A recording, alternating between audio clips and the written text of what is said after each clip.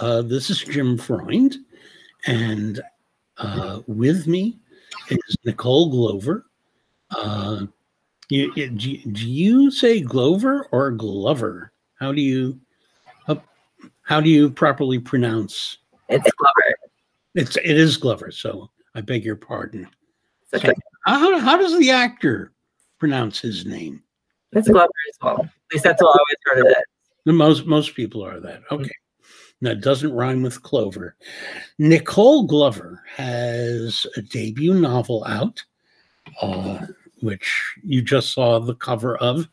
Uh, but if you're listening on the radio, you didn't see the cover. It's called The Conductors, and it is from Mariner Press. And it's got just a wonderful concept. I get, I don't know how many pitches and email a day, most of them totally inappropriate to what I do. And I did a double take on this one. It's like, oh, wait, this is spec fic. This is fascinating. And w- what a great premise. And so, and so here we are. Mm-hmm. Uh, uh, what, can you give us a précis of what the conductors is about. Okay. It's it follows a, pair of former underground railroad, railroad conductors who you know they spent their years you know uh, doing all the things uh, ferrying people from through slavery to freedom doing some stuff in civil war and this book takes place in 1871 in philadelphia and so they're done with the war, it's things putting their past behind them, settling down to new lives, and basically decide they take their skills and solve murder mysteries. And they thought they do that with you know this their general you know smarts and wits as well as magic because there's also in addition to murder in this world there's a bunch of magical mysteries to take care of. And so this book centers around the murder of a close friend that that they, they discovered and they basically the, the book kind of details the fallout from this, seeing the the how the impact this death impacts their lives, their friends' lives, and well as the community. And in addition to all that, it's then exploring the history of that time period with a fun level of you know the magic and murder sides to it as well. Yeah, yeah. So it's just it's got a perfect setting and uh, underexplored setting until I guess there have been a couple. Uh, there was the movie Harriet, uh, and uh, with a twenty dollar bill to come, and uh, the, there was one was it the Free State of Jones? Was it wasn't about the railroad, but it was. Yeah, it's about those. I don't. I didn't watch it, but I know I looked up the history from it when I, I saw the trailer for it. And it's basically they make a their own. There's during Civil War I think he, they think the guy in charge who, who founded it was a former Confederate soldier who's like, this basically decided he didn't want to do anything involved with it. So basically makes his own town basically with people of all race, different races and stuff like that. And yeah, but yeah, it's actually a pretty good movie. It was better than I had expected it yeah. to be. Um, so the setting is as far as popular media is concerned, an underexplored one mm. uh, on an era and a fact of these of America. Mm. I want to say United States that that uh, is mostly denied. Mm. Certainly nothing like what I was taught in school. Mm-hmm. Uh, uh, since I went uh, yeah. to elementary school in the 1960s. It was a very different history than one that I know now. I probably it probably hasn't changed that much. When I when I was in school, the Reconstruction era was probably like a paragraph, a page, if I'm being generous. No, and, yeah, except that you know they added that Andrew Jackson was a good guy. Some of the books still are still like that. At least I remember when I was in school. It's it's yeah, it's, it, it, depends where you go, basically, and probably some of them probably they're about the same. things. some I think there's attempt to make them better as with anything, but it's you don't know. It's hard to say. Yeah. I, I, don't. I don't have any kids in school, right? I don't have kids. So I don't know what they're teaching right these kids today, basically. Yeah. But the internet's really helpful though, because it's interesting as I gotten like new logged into social media and stuff, even seeing people like figuring out pieces of history that oh, I've like basically you know people say like learn today these blog posts basically being like they learn these certain facts and social media allows at least things that aren't really covered in school can be kind of blown up on the internet and gets people interested to do their own research because everything's still out there. Still out there just not it's really hard to find yeah and and, and the internet does um provide conversation. The problem is is that of course without a good mediator uh, an editor of some kind uh, you get so much of the bad yeah. along with the good as we know all too well. Yeah. And uh, so people still have to do their own research but add to that era add to that that as i say under uh, popularized is that the word i want? Untold stories. Mm. uh, add to that mystery and magic. Mm. and it seems like a great combination. Uh, yeah, it it's it just kind of came together like it was i got this idea randomly. It was like just worked really well. I don't know this is this is something different. I think because i don't really see too many uh, media that's popular popular that's that's that's specifically stated after the civil war. You might get little post civil war flashbacks and epilogues on these stories. But a lot of the particularly with, with black history it's in 19th century. It's going to be antebellum. It's going to be civil war. You're not going to really see reconstruction era as much and and Mm. anything especially especially fairly close after civil war and i think the only thing in depth i remember seeing is probably like the old roots series miniseries and then they have a sequel the next Generation. yeah and they that covers like you know the post civil war to i guess to the 70s when the author i guess the end of the author basically starting to write the original book but that was probably like one of the few pieces of media at least i was able to find easily. There's probably a few other ones probably some tv movies out there that are specifically set in that time period but there's not there's not really it's not uh all the big move big hollywood movies big tv shows aren't gonna aren't in that time period which leads to a lot of like it's it's a lot of untold untold stories. And a lot of interesting things came in because when i started writing i just found a lot of interesting things like just in the few years like the in the 1870s is like so much stuff going on that i didn't include all of it in the book because i was focusing on just the lives of the characters instead of like the, the larger world but there's a lot of things going on it's interesting it's and so much is all across the country because it's like a it's the one thing I found in the research is like it's a very important time period, and it's like so important that it's the stuff that's was written about that time period, but but by the writers of that decade, is still relevant today. yes Like you just change names, change the dates. You can. It's still very important. It is. It is, and very much set the uh, a lot of the time frame Mhm. things going on today. Mhm. It's. Um, uh, I, I live in a particular part of Brooklyn where not five blocks from me is a church that uh, deconsecrated church that boasted that it served both Ulysses S. Grant and Robert E. Lee Mhm. at the same time, and there were statues to that extent. Uh, tho- those are gone, but within three miles of where I live, uh, they're totally rebuilding this uh, formerly rundown neighborhood, good commercial neighborhood near Fulton Street, and there's one huge pit there. It's Mm. there. There could be and probably will be a you know 30 40 story building Mhm. but there's this shack and the reason the shack hasn't been developed is to stop on the underground railroad Mhm. and it's dilapidated but the owners uh, i think they've crowdfunded to hold on to that and keep that.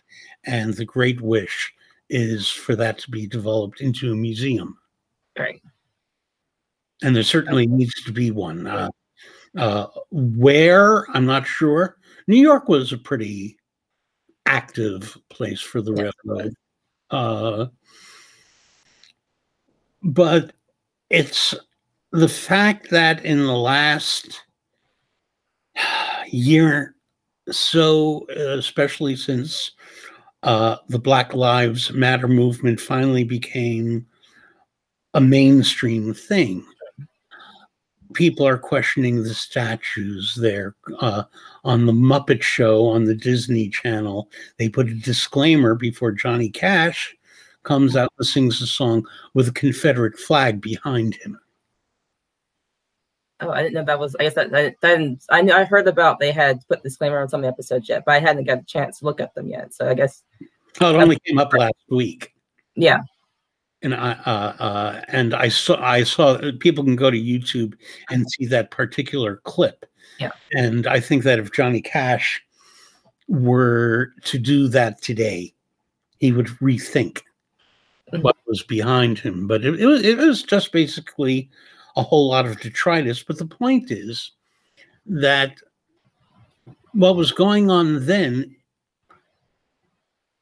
has become part of station more so than it was say 10 years ago and so that's a way of saying i think uh, the conductors is a book whose time has come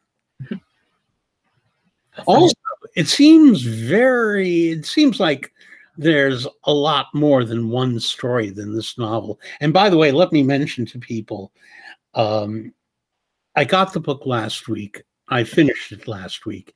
It's a page turner. It's fun. You know there's a lot of serious stuff going on but it's still fun that was my that was my main thing kind of going in there, especially when they have the magic in there. It has to be fun, at least for me for writing it. Uh-huh. So it's like it's I wanted to have a good I always have a I guess that's how my approach for everything, like a mix of everything. It can be serious, but I like to have fun with my stuff. Yeah.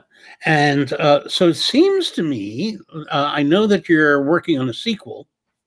Yeah, I just, just turned that in. You did. Congratulations. Yeah. Mm-hmm. Okay. Do they have a pub date on that? Right now, it's in November of this year. Wow. Yeah. Yeah. That's great. It is. It is exciting. It's always nice to have, you know, well, one one thing's nice to say two books out in one year. It's always nice to say. And it's also shortens for readers too. It shortens the time between books. I know. I know. And I know people like that as well. Yeah. We were t- we were talking, I think, off air about how sometimes you want to not watch something on TV or something so that you can take it all in, especially the you know the first or the last episodes in uh, a mini binge, a micro binge. Mm. Uh, and there are too many writers, Michael Moorcock coming to mind, Philip Jose Farmer, another, where you might get two or three years in between volume one and volume two. And with George Martin, it can be a decade. Yeah. Just about. Right. So that's great to have two books in one year. Do you have other tasks for your characters? Do you have other stories? I always have. I always have a bunch of story ideas. It's always I always have. I always keep a list of stuff of things I they're in like in the in the view of things I want to work on eventually, or this thing is a lot of things. As I did this research, a lot of things captured my attention. I'd like to write about, but it didn't fit in these in these two books. That cause I always had like a ton of stuff. Like I don't want to overstuff things, so a lot of that stuff ends up being a file. Things that'd be great to kind of build out, and I have a few things I would want I would want to work on. So it's like it just depends. It's right now it's just the it's the waiting. It's a we'll see mode for the with these books. So. Uh, yeah. Will most of these involve Hetty and Benji? Yeah, it's I've at least got two ideas for two more, and it's a few other ones. Because I have a lot of fun with this world, and I think that one benefit to I mean it's a mystery series. I also do a really short period of time because the first book is maybe this was just over a week of time, so it's like, yeah, it's it's easy to kind of it's there's lots there's lots of room basically. It just depends. Like as long as I have the ideas for stuff, as long as I have the idea for a good murder, I always have really careful like building out the mystery if it gets too complicated. So, I don't want to jinx anything by asking, but I mean, this does seem like an obvious series, doesn't it? Uh, like TV series or movie series or some such. I mean, there's, yeah, there's nothing really I can say at the moment there, but it's, yeah, no. it's always been my, yeah, you, uh, you have anything if you want to see your book turned in with actual actors and stuff in there. So either a movie or a TV series. I mean, I can easily see a movie being like a, you know, just following the book, and the TV series taking more of the concepts mm-hmm. and like you know, it's building out individual murders per episodes with an overarching thing. But you know, yeah. so I guess most I most I also like I think I dabbled at one point that like messing around with TV scripts. So I got thinking like how would a TV script be the the how would I would do a TV adaptation mostly because I was thinking you know just, just thinking as uh, you know big dreams that sort of thing. Now you have an audiobook from this, don't you?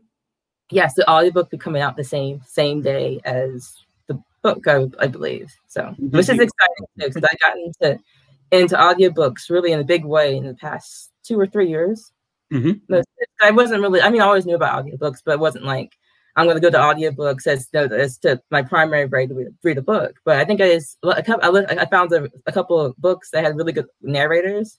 And I was like, some of them, there are actually some books that I just, I was listening because, listen to the audiobook only because the narrator for that series is so good. It's like, it's better than reading the book itself or there's some things I know that's going to be more fun with the audiobook. It's so, so I'm so always excited to hear that there is an audiobook with my book because it's like, you know, it's one of those little things.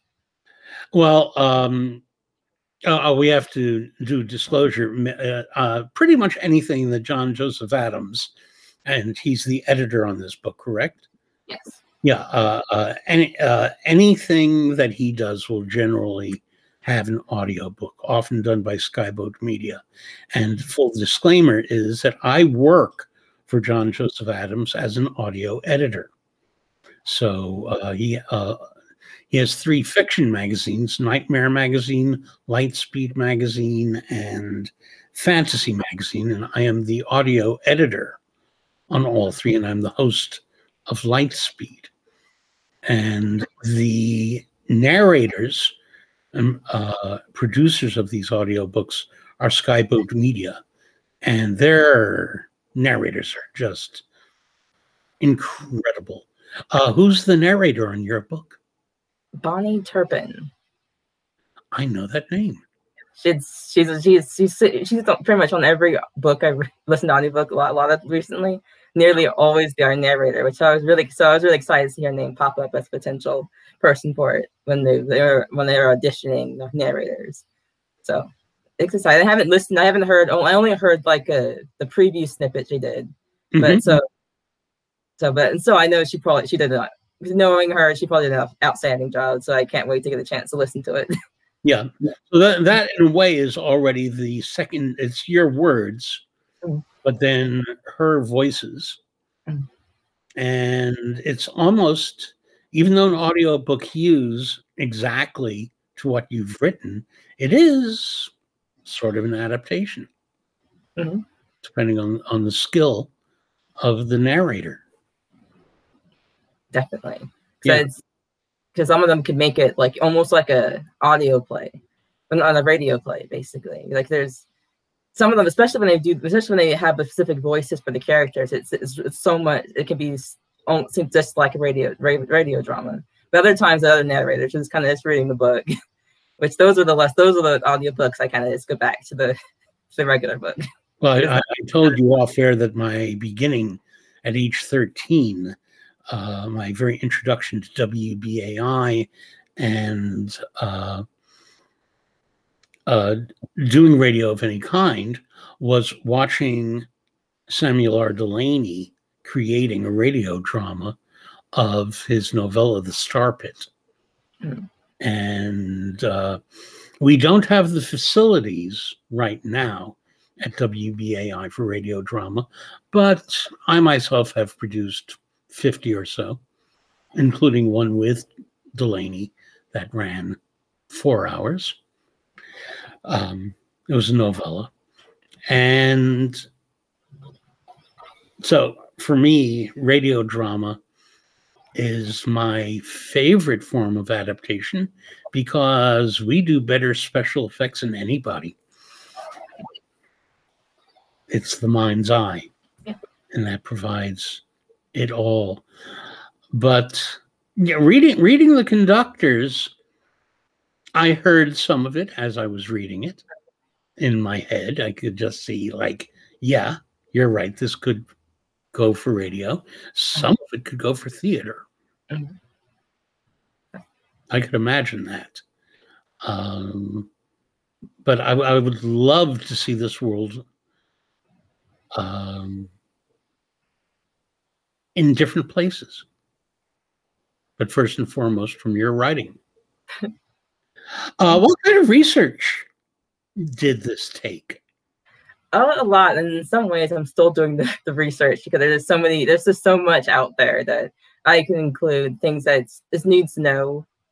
And I think I, I mean, I did, I did like two kind of versions of it. One was more of a targeted research, and I specifically looked in Philadelphia in 18 and 1870s, looked at the mm-hmm. people living in that time period, and looked at specific things I referenced. Then I also took a broader view, going back as far as eight, early 1800s throughout through, with, with this focus on the U.S. and getting this following us all the antebellum period, looking into Civil War stuff, and kind of again from from that big view, kind of narrowing down certain spots, especially when I reference certain things in the book, and yeah, just mostly just a lot of the, a lot of the stuff ended up being just research for me to know what it's about, so I know what I'm talking about.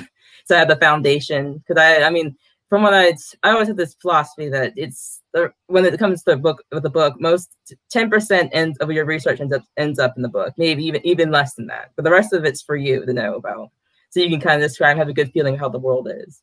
And from that point, I know I'd, I think I came across a lot of prime. I came across a few primary sources. Did a lot of research into using like a JSTOR and all those databases that library provides. Looked at newspapers uh, yeah, made sure I, I, found like I looked up all the newspapers that were going on the time period and looked up and found like you know looked randomly picked up days and dates and like look at what articles looked like that time period, what they're talking about basically. And you know it's got a the lot heavy use of library, which I dug up a bunch of books from storage, made learned how to use interlibrary loan system, and got and I was really happy that I got like some some of the most random book sites found there libraries got got them for me. Wow. And and just a lot of some of the stuff was sometimes I would see stuff on the internet in passing that seems like interesting was a person, a certain thing, and I just go dig in from there. And you know, like I said, it still continues. I still come across stuff, and it's like, oh, I, sometimes I feel bad, like maybe it should have gotten my book, or why didn't I? Maybe I didn't reference this. This means it's like it's terrible. But at the same time, even though it's history, I had to remind myself that you know it's fantasy. I had magic in here, so I don't have to be 100% accurate for certain things. I can like lean on those magics to be like kind of loose to be 100% factual. And that's that's a hard thing to remember sometimes. But at the same time, I want to make sure it's it's close to. it Because I mean, there's a reason I said it with it with with a history background. Because I mean, I easily could have made this like a secondary world where it's right. nothing besides a history. And but I made the choice to make it have it have the sort of the historical side into it. So I had to you know to keep as close to the his, real history as possible. Because that's I mean that's that's the big, the big choice I made. That, that, that was one of the uh, things that appealed to me uh, was how well set in our history in our world this is. Uh, the the stuff that say Nora Jemisin, N.K. Jemisin does, uh, her world building is fabulous. It's wonderful and it transports you and you learn greater truths in a way by taking a step away from reality but that's not quite the same as being able to set something in a credible world that is mostly part of our history just with a few left turns taken here and there. Right. Well uh how did you determine what kind of magic you were going to invoke? Well, I think one thing I was thinking of magic systems. I think when I was thinking of the main characters, I can I, I decided I was going to make my own magic system. I looked, I looked at, you know, I did my research, like, you know, looked at what other kind of magic systems were out there, and also looked, you know, thought of like all the fancy books I've read in the in the past. Like, what do I like about it? Do I want to have elemental magic? Do I want to do something else? Do I want wands?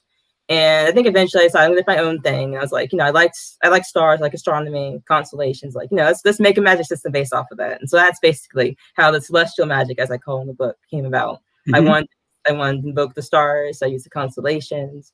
And I like the idea of them drawing like sigils and working that sigils, whether it's in clothing or in artwork, sort, sort, sort of things. And that's that's where I got to decide what the main characters did. And as I'm building out the world, I like the idea that everyone in the world has magic, and but magic kind of it's, is different depending on their background, their nation, their ethnicity, their religion, where their country, their basically their background. It's, it's all different. It's the magic. Everyone can do magic, but it's, it's it shows up differently. Like kind of like arts. Like everyone has different styles and whatnot, and there's no there's no limitations other than your, your time, your effort, and your creativity with the magic.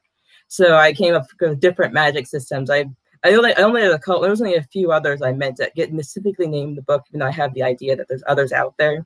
The only other big one I'd mentioned is the sorcery, which is kind of Western Europe. It's the magic of white people. It's the typical wand making, uh, uh, calling out enchantments, and has all these rules, it makes the contrast to celestial magic, which is it's more loosely defined where it's just as long as you know the constellations, you can use any kind of spell. You can use you can use, you know, you can use Ursa Major, Andromeda, Canis Minor, and make for the same kind of fire spell, light spells, whatever. But it's like whatever you want. You get whatever. It's, it's the only limit to your creativity with celestial magic. Whereas, and that's so those are fun, interesting things to kind of work around with because it's like a another layer to kind of play around with how how the world interacts with magic and how can you feasibly make a world that's kind of like our own with magic in it because I don't know. I think I was growing up reading so many books where I guess fantasy is always limited to a small group of people. I always like the idea of like what happens if everybody has magic and what what's where's where's yeah. the, what makes it fun. Where the, that's where that's a regular part of that world. Yeah, as as opposed to like the Buffy verse or something, or the Scooby Gang or whatever, where you have you know the five people, mm. uh, or even then you have two people with magic and three sidekicks, mm-hmm. and that's the group. Mm-hmm. And yes. then, and then they discover a big bad or a murder or something and have to deal with that. Although usually it's a big bad. And that's the other thing that appealed to me was the idea that you're putting mysteries in here uh, that you were crossing yet another genre mm. at the same time. Is, is, it a fair guess, given the way you were describing magic, that you were uh, or are a big games player? Yeah, I, I, I may play a fair amount of video games. Probably so, some of it more. Name names. And name some. Um, I know some of like type of, some of like the old school or RPG games like Final Fantasy series. I think it was big into Kingdom Kingdom Hearts, mm-hmm. and then it was when I was younger. Um, I know the big one I'm playing right now is the new Hades game, which it's mostly on the Switch and Steam and stuff. It's like a, I don't know, it's it's it's a lot. Of, it's a, it's one of the best, really well crafted games I've played in a really long time. From like everything level from music a gameplay, it's a design of the game system. It's Can it's addicting. Solo? Hmm? Can you play solo or is it a uh, math? Yeah, it's, a solo, it's a solo game. Yeah. Oh, okay. A, yeah, single so, player games are my favorite.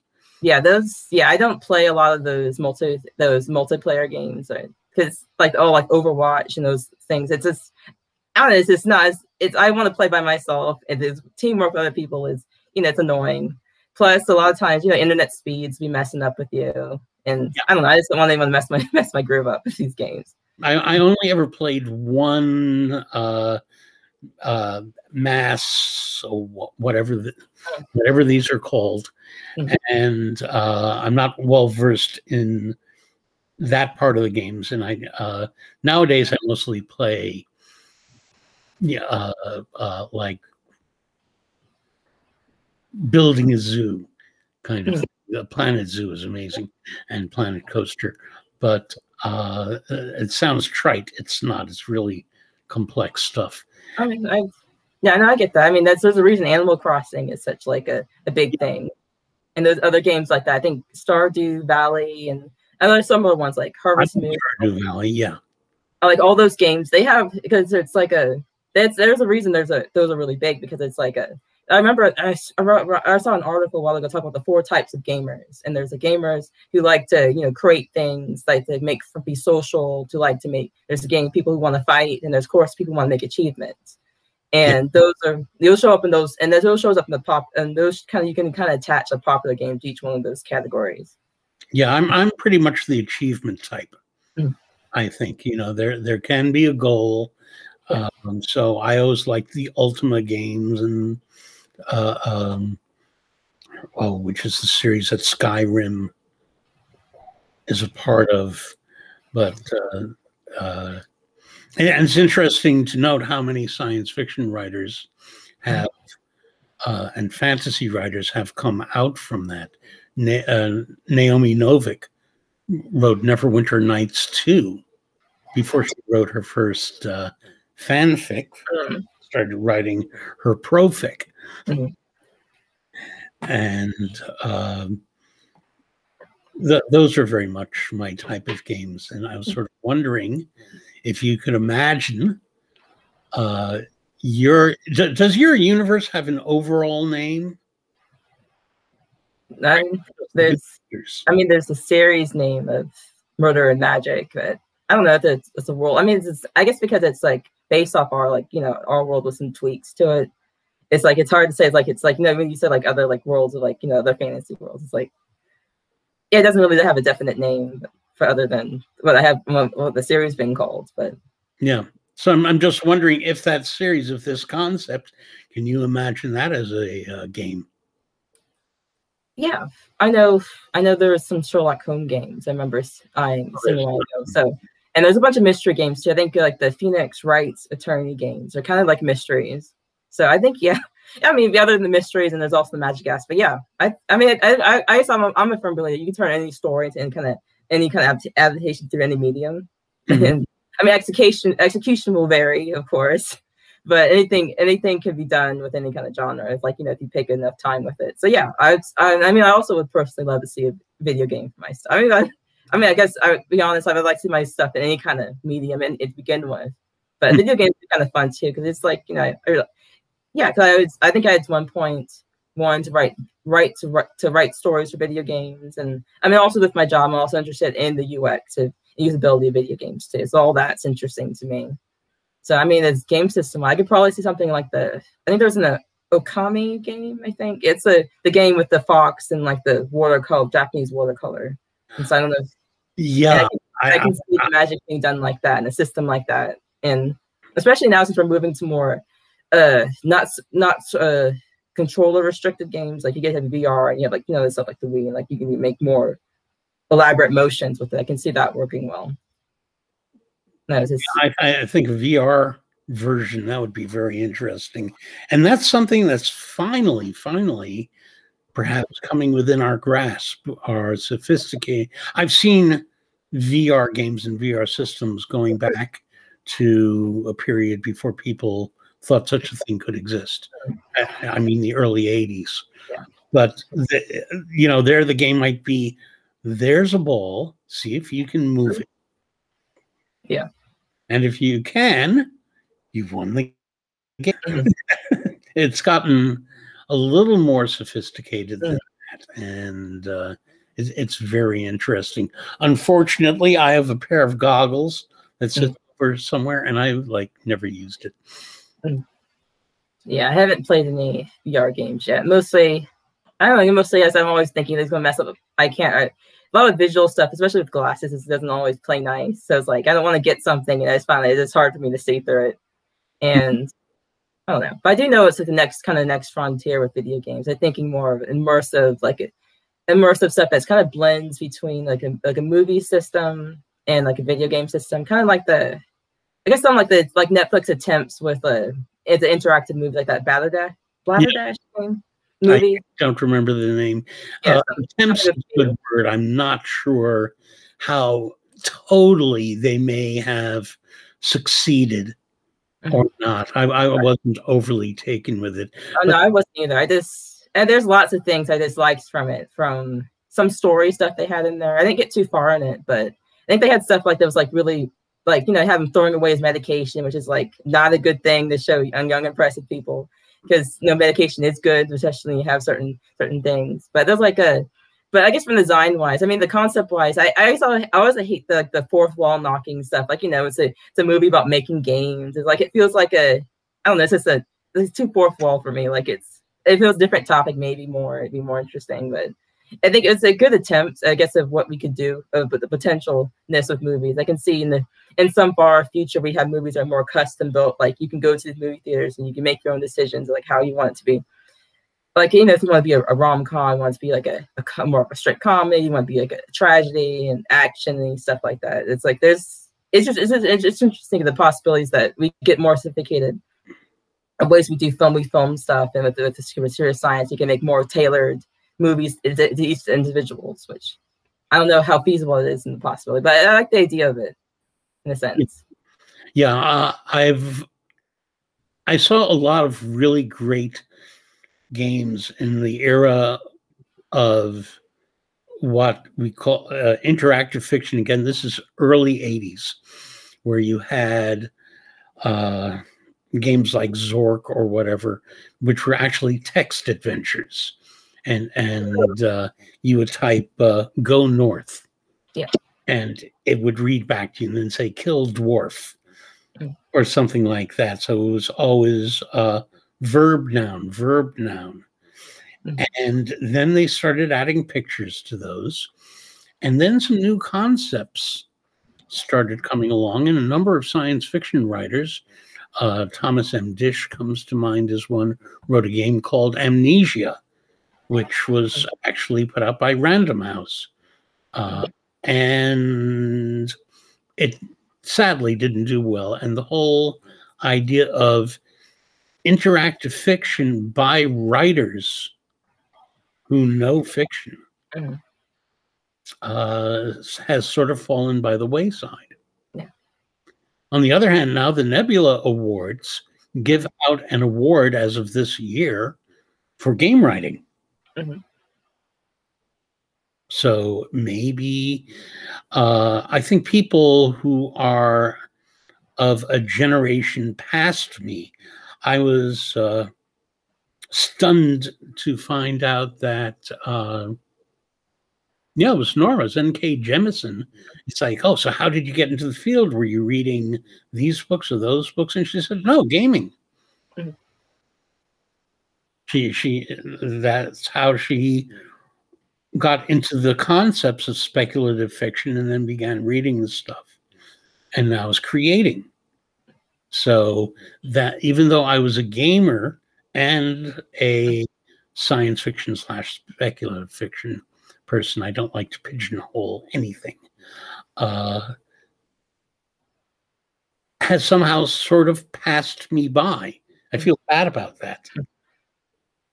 I can play the games, I can read the books. I've never quite married them and never quite understood that yes, people can come into the genre through that. Which brings up the question how did you get drawn to genre? Um, Fantasy and. Yeah, it, it, was writing. I mean, not, not writing, it was reading. It was.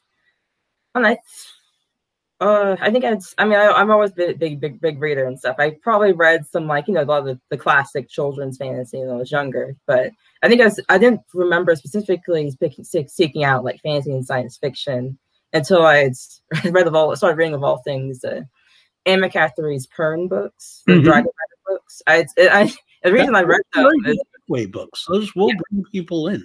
Yeah, but I only started pick them up because they were the colorful covers in mm-hmm. my library at, at the middle school, they had they were stacked. It was in the middle of the library stack. I remember the of the library bookcases. So I always pass them to get to the checkout desk, and they're really brightly colored. And they're right at Island, so I was like, these looked interesting. So what are these about? And so I just got one, and I started getting the rest of them. And the funny thing is, I think for about it, I guess for this whole time I noticed them. No, the, none of the books ever moved. But until I started reading them, after not long after that, other people had picked up the books and checked them out as well. Mm-hmm. well, anyway, that was my gateway into into fantasy. Even though I really did think it was fantasy because you know it was dragons, until I realized yeah. later on that it was actually science fiction because of the reveals I had later on in the series. But from there, I got more interested in reading more in that speculative, the speculative fiction area. Yeah. So from there, it's like it's all she wrote. It's like a lot of a lot of my of all the things I of this thing I still read today. I was still gear. I still lean towards fantasy more and science fiction more than all the other other genres. Even though I do read, try to read as much broadly as possible. Yeah, it's always a good thing. Uh, who are some of the other writers that you've been reading then or now? I guess I'll start with the now since that's more recent in my mind. No, Rebecca Roanhorse's is a big one. I think I read I read Black Sun recently. I was like, that's everything I ever wanted in epic fantasy. Like yeah. it was so good. I can I can wait for the second one. I still digesting what happened in the first. I haven't interviewed her. I'll have to do that. I'll see if I can find an in. um, let's see. P. P. Djèlí Djèlí Clark. Yeah. Yeah. Uh, yeah. I love his novellas. Is like he does so well in short fiction. I'm envious of, of it because I always have this tendency to overwrite. And he said, see, that's like the plot of a very vivid world in such a short amount of pages that I still I'm left wanting to see more of this stuff. So I'm really happy that this his first full novel, novel is coming out this year. So I can't wait to read. Um, Although I like the fact that he works with different. I'm a big fan of well epics that can run mm. Uh, God knows how many thousands of pages. But I'm also a big fan of you know th- things that can run 16 or 60 pages. They each offer different things. And P. Djèlí Clark has just uh, sort of mastered the novella. Yeah, it's like the because I wasn't really a big fan of novellas before. I think I really picked up, started picking up his books. I think I only really pick, picked up most because that's just what the concepts he had for it. like look, just the premise looked interesting. But after I got I had more respect for the novella afterwards, like seeing how, like the, how much you can do with you can do with it basically. Yeah. I mean the, the, the problem with it all, of course, is the market. Mm-hmm. Publishers want novels. I, I, I do know reader more readers have been talking about like shorter stuff now. I guess especially since a lot of since the big doorstopper novels been such a thing for all these years and long running series that keep going on and on that there's people want more, I guess, less of a commitment. Basically, they wanted something be more. I've been hearing readers saying they want more standalones. They want more shorter stories, basically.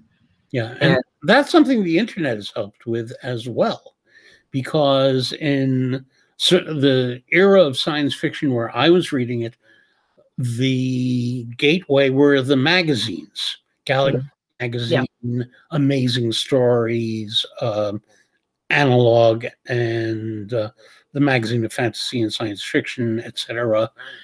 And now you have the internet. Now, and the internet allows any length. So hmm. Where you get things like Clarkesworld and um, the three podcasts that that uh, I'm associated with with uh, for John Joseph Adams, who's publishing what a dozen short stories every month mm. between the three magazines and uh, his anthologies, and uh, he's been doing novels through John Joseph Adams books, and uh, uh, the short story is and the novella and these forms are very much alive. Um, and there are also a few people breaking media rules in what they do, like Andrea Hairston creating works that have to have music. Mm-hmm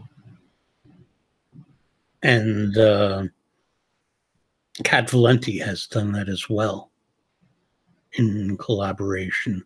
For some reason, it seems to work better with fantasy than with science fiction. I don't know why. I guess fantasy is more anything kind of goes. I think So then there's a lot of science fiction. There's still more like you want to be somewhat grounded a bit than before.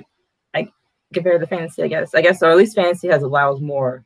You want to hear since it's you're describing things that it's hard to to say. So having like a, an audio, something audio, kind of helps out a bit.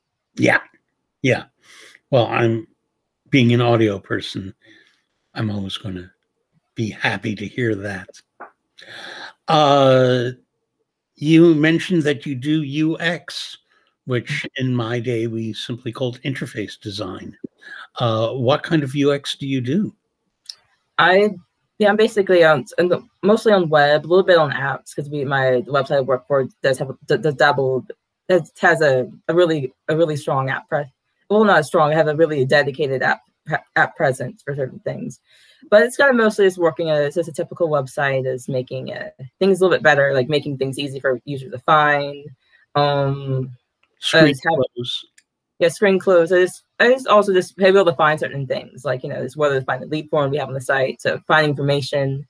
Um, a lot of sometimes it's just collecting information about the visitors to the site as, as themselves, like whether uh, this from demographic stuff to things that are interested in finding, uh, defining their user journeys, basically, because there's like different, several different journey, user journeys that people can make on the site and kind of figure out what those could be to kind of better serve them and figure out certain projects. And yeah, there's a bunch of little things like that. It's, kind of, it's always kind of fun. And it's one that's a feel that kind of came fun, isn't it? Yeah. There's sort of a gaming aspect to that. Yeah, it and, is. I mean, there's a lot of, yeah, there's a lot of things that, I mean, there, especially when you look at some of the metrics per month, it's like it's, a, it's a, it doesn't have a, the gaming the aspect does come up a bit. You get a, some you get get a certain pleasure of seeing uh, people actually are finding the you know the button or the this page that we want them to find. It's just seeing the numbers go up or down depending on certain things. It's always kind of fun. Now, speaking of uh, websites and stuff, you have a very nice one. Mm-hmm. We should just tell people uh, uh, it's Nicole Nicole Glo- dash Glover dot com. You see, there's the UX in radios that you have to say dash. So it's N I C O L E hyphen G L O V E R dot com. You can figure out the the dot com for yourself, listeners and viewers. Um, does your background in psychology interact I, with the UX experience and your writing and oh yeah all all the way around. I think i got interested in psychology because i liked to write because i've always been a, a writer since i was younger. And so i was always interested in what why people did certain things uh you know why they like what what they're thinking basically. So so when i i guess when i went to school off the school like you know psychology felt like really good fit. And and definitely ux yeah, it's it's like with UX psychology is basically you know it's a it's a marriage of UX the marriage of psychology, art, and computers. And so it was a it was it was one of the kind of funny. I guess kind of stumbled into UX as a field by accident. Like I just read the book and I was like, oh, this is a. Then I was talking about kind of user interfaces and all this other design stuff. Like this is actually a field with computers. Like why didn't I learn about this when I was in college? Mm-hmm. And from there. Yeah, but yeah, definitely psychology is a thing. And I'm, I'm always curious about why people do certain things. And yeah, I think that's that's the kind of approach I take with like with writing. Like you know, like a lot, a lot of times to figure out like why why people doing that, what are they're thinking, like how what their actions are, and all this all this other stuff just fascinates me. Yeah, to me, this is all coming together into who you are because you've got a background in psychology, in user experience, this interest in um, the the antebellum era and magic, and it all ties together very nicely. And it's almost a shock that I don't think I've ever encountered anything quite like it before. And it's just so easy to pick up and go through. And by the way, uh, how much of this, I mean, it's not been done that I can think of offhand, period, and especially not uh, in Black literature. I Oh, I, one should point out these books are readable by anybody and everybody. Oh, it's yeah, it's good to hear. It's I don't know. It's always felt like a. I think especially with all the different genres and mashing up together, it's like, oh, this is probably a lot. Because I always felt like when I started like you know pitching out to people like you know describing like give you a, a, quick summary of what it is i'm like oh it's a, it's a historical fantasy like murder mystery and i feel like that's a lot of words it's all because of all these different genres clashing together but each you know each genre like it counts i make sure that each i have emphasis on each genre in there and you know it's I don't know. I don't know if it's the first. There's probably a lot. There's lots. I mean, there's always there's lots of books I haven't read out there that maybe it kind of tackled some similar things. But I, you know, you know, I'm sure that there's something in what what I don't know, and I'm fairly well read, yeah. but uh, especially in the genres. But what I don't know, I'm I'm sure there's a listener out there who can tell us something, or if you're viewing this on Facebook or something, you know, type in uh, an example. But to me, this was unique. That's what got me from the pitch that I was sent by your publicist.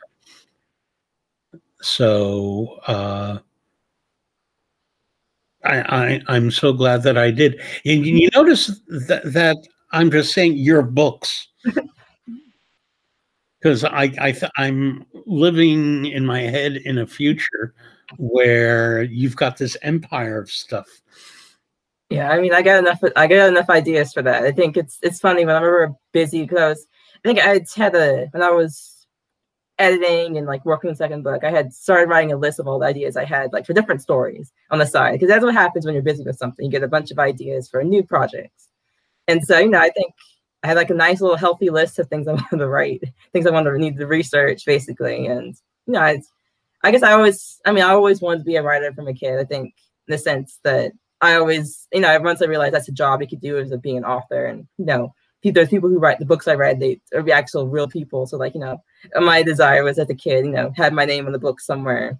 And I think I always imagined several lists, several books, you know, because I think I used to make lists of like a. I was really good at like making titles and series. When I started like my little my little stories I did as a kid, I remember I had a print. I made a printout of like potential titles for you know books I never wrote, but had ideas for. And it was like it was like at least maybe two pages of stuff of of just titles of of potential book ideas. So like I always have a dream of lots of books in the future. Just you know, I have to find the time to write them all. Uh, now, now we've established that this is a very rich universe mm. that you're not going to be abandoning very quickly. But I'm wondering if there are other universes or one shots mm. or things that you have in mind that you might get around to tackling.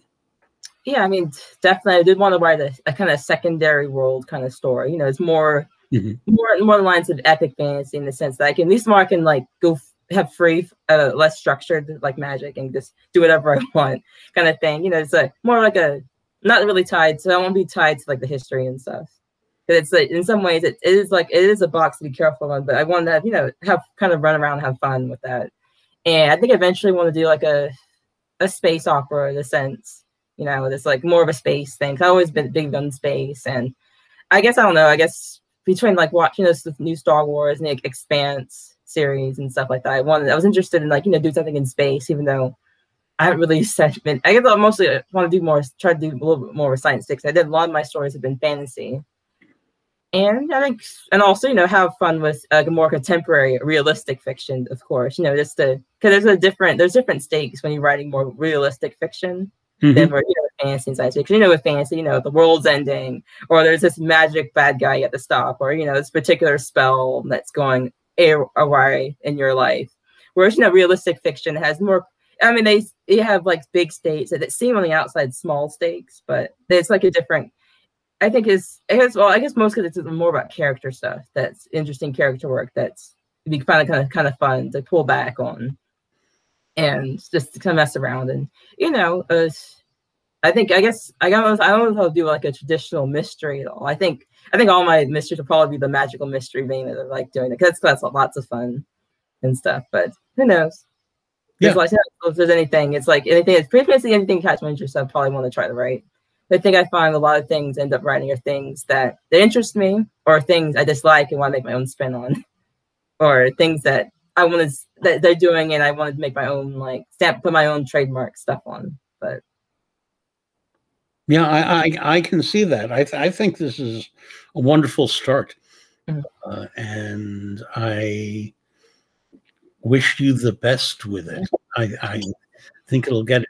We should mention uh, what the the official publication date probably is passed by the time we get to broadcast. Uh, it's is it March second? yes, March second in, in the U.S. and for any UK just listeners, it's out on the the third of the March March fourth. So Yeah, let, and let me uh, mention uh, to viewers and listeners if you go to uh, cold-lover.com, you can see the cover of the UK edition of the book. And it's very interesting how different it is and yet uses similar um, icons in you know, that one would associate, I guess, with the Underground Railroad.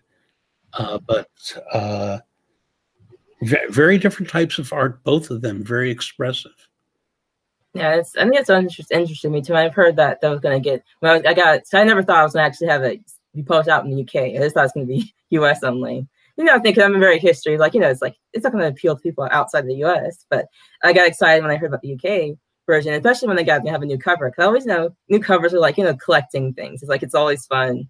So I started looking up like I guess I was got curious looking at differences between US and UK covers, and it's actually a, a big deal. Like I saw, I came across people I was talking about differences of different of different that became different between different countries, the two different countries, and I think some of it's like you know market based, looking at interest and stuff. But I was just intrigued by how like the different interpretation of certain themes come out differently, whether it's in the US or UK. And it's just you know, it's just it's, it's I guess I like the designs of like looking at stuff. So It'll be really interesting to see if this gets any uh, foreign language versions, and not only how will the translation be, but what will the cover look like? What will the imagery look like? yeah, definitely. I I don't I haven't heard anything about that yet, but I'm definitely it's one of the things I would like like to see. Getting himself the foreign translation is always kind of fun. Yeah. I mean, it's, it's also yes, it's also accessibility for like uh, different countries as well.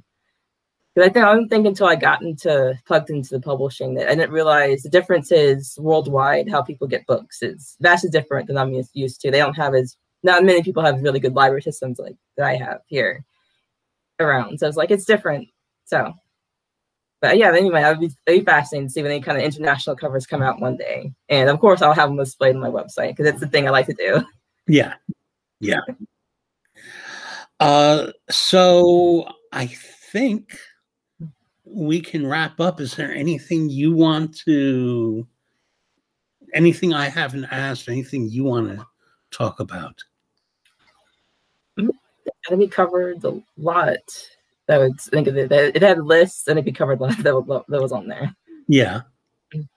So I guess at that point, at this point, uh, I'll just say thank you so much for doing this. Um, and again, for everybody, the name of the first book in the series is The Conductors.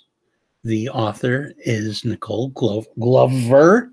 I don't know why I want to say Glover. It's wrong. Glover. G L O V E R, and um, available wherever better books are sold. Yeah. And audiobook. Yeah. So, uh, again, thank you very much. It was fun talking. Good. Take care. Have a good day.